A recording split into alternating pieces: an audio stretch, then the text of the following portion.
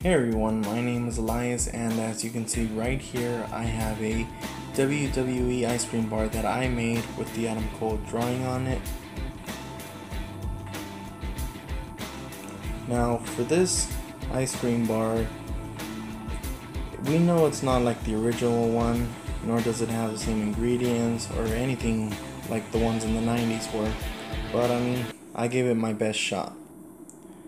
Making this ice cream bar is easier than it looks really. The top part, I made it out of oatmeal and just let it dry out. The bottom part, I just got the ice cream from ice cream sandwiches and just for molded them together to fit into its shape. And the bottom part one, I went a little different. Here, let me let me see if I can get it to the other side.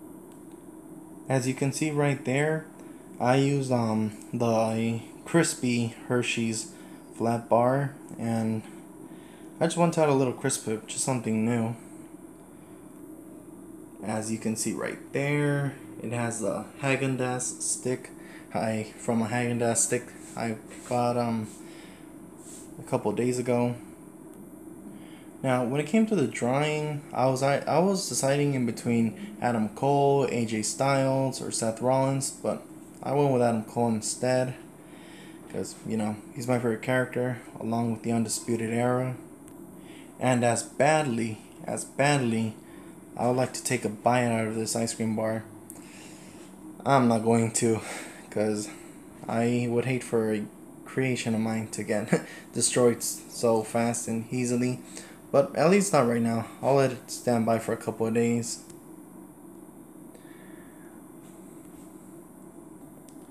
Well that's it for this video and you could also check out my Instagram account under no scripts needed. Should be in the link below. And there I have pictures when I was making the ice cream bar. There you could see me holding the ice cream bar because right now it's it's not really to a good point where it should be grabbed. It could like it could fall off. Well that's it for the video. Check out my Instagram below to see more pictures while I was making the ice cream bar and have a good day.